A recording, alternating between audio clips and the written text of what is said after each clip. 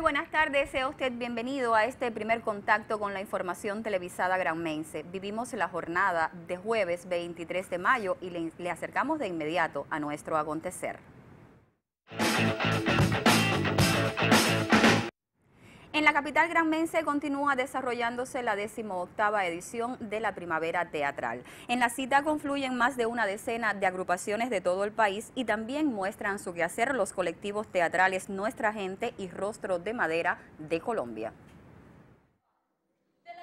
Un canto a la selva es la obra con que Rostro de Madera debutó en Cuba. La pieza fue presentada justo en el contexto del Primavera Teatral.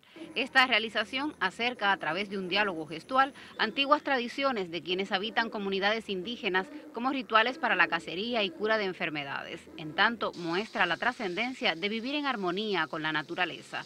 Me gusta mucho la conexión con el público porque uno encuentra que sobre todo los niños y las niñas eh, se conecta mucho con ese tipo de lenguaje que a pesar de que no es verbal, hay una comunicación, eh, hay una historia que sucede paso a paso y uno eh, ve cómo los niños van entendiendo y van disfrutando como de cada una de las cosas que van sucediendo dentro de la obra. Me gustó mucho y porque trato de, cuidar la naturaleza, de no, de no arrancar las matas, de de cuidar a los animales. Y siempre cuidaban las cosas y todo me pareció perfecto. Me parece una posibilidad y una oportunidad increíble para nuestro grupo. Eh, nos parece hermoso este país, teníamos muchos deseos de venir y agradecemos mucho la invitación que nos hicieron. Rostro de Madera surgió en el año de 2009. Posee un repertorio activo cercano a la veintena de obras, entre las que figuran montajes para infantes, jóvenes y adultos. Su creación muestra esencias identitarias de la multicultural Colombia y tiene en el teatro comunitario los pilares de su hacer.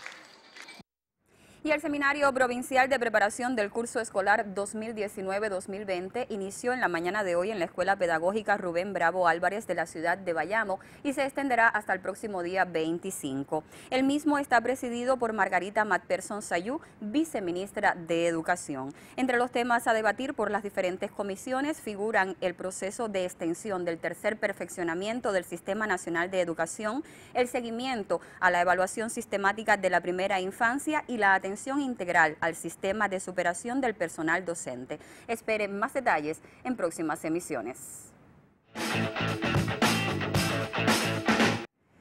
Una escultura en cera policromada a tamaño natural de la destacada poetisa cubana Carilda Oliver Labra formará parte de la colección del Museo de Cera en esta ciudad de Bayamo. Ismari López, directora de la institución, declaró que la escultura de la llamada novia de Matanzas constituirá un regalo por el decimoquinto aniversario de la singular galería a celebrarse en julio próximo.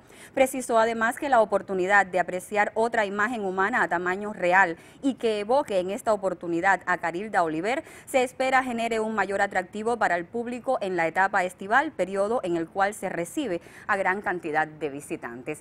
Con esta información nos despedimos. Usted puede buscar más del acontecer granmense en nuestro sitio digital con dirección www.cnctv.icrt.cu. También en el noticiero en directo de las 6 con 15 minutos de la tarde. Feliz jornada.